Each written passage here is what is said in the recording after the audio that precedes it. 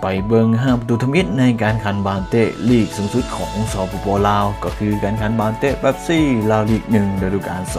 2023 ที่ว่าได้เปิดฉากขึ้นยังเป็นทางการในวันที่ 18 กุมภาพันธ์ 2023 นั่นเองซึ่งก็มีการขันอยู่ 2 คู่ ซึ่งแข่งขันอยู่ที่สนามกีฬาแห่งชาติหลัก 16 และก็สนามกีฬามหาวิทยาลัยแห่งชาติ เดี๋ยวเราไปเบิ่งประตูทมิตกันได้เกิดขึ้นจากโบดิกเดมิตรีนะซึ่ว่ายิงได้นาทีที่ 7 ในนาทีสวยให้กับทางด้านซังเอฟซีเอาชนะสมุสรบานเตะนำทาไป 2-0 ส่วนเอาประตูที่ 2 ก็ได้จากการยิงของผู้เวียงภูมิสวัสดิ์ในนาทีที่ 14 ส่วนเอาประตูที่ 2 ก็ได้จากการยิงของผู้เวียงภูมิสวัสดิ์ในนาทีที่14ช่วยให้กับทางด้านสโมสรเวียงจันทร์เอฟซีเอาชนะทางด้านสโมสรเอสลาไป 2-1 ส่วนประตูที่3เป็นของมุทุจันทร์บนกองเนอะยิงได้นาทีที่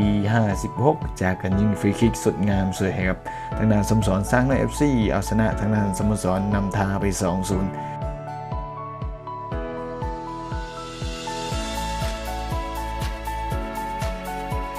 แล้วก็ประตูที่4ก็จากการยิงของโจอร์ฮันเอลล่า เตะฝรั่งที่ว่าในลาวลีกหนึ่งเป็นครั้งทำอิฐในประวัติศาสตร์นะซึ่งผลก็ยิงได้นาทีที่ 56 สวยให้กับทางด้านสโมสรเวียงจันทร์ FC เอาชนะทางด้านสโมสรเอสลาไป